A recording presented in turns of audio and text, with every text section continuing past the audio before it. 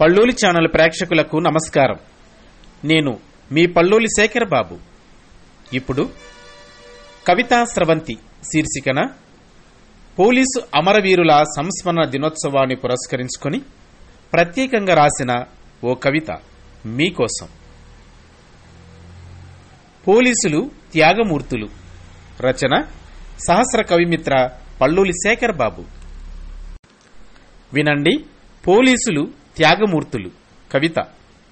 రేయనక పగలనక ఎండనక వాననక చలి అనక జామనక మెరుపులు మెరుస్తున్నా ఉరుములు ఉరుముతున్నా పిడుగులు పడుతున్నా రాళ్ళ వర్షం కురుస్తున్నా తూటాలు దూసుకొస్తున్నా బుల్లెట్లు గుండెల్లో దిగుతున్నా దేహం ఛిద్రమవుతున్నా రక్తం పారుతున్నా అవయవాలు తెగిపడుతున్నా ప్రాణాలు గాల్లో కలుస్తున్నా.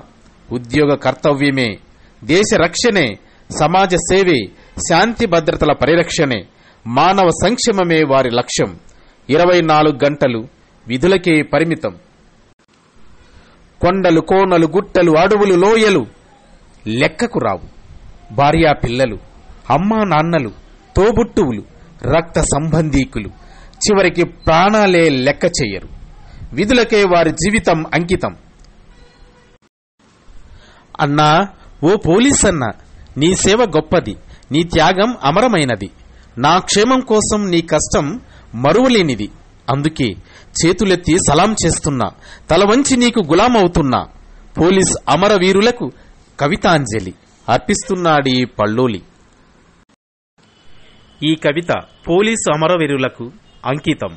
మీ పళ్ళులి శేఖర్ బాబు.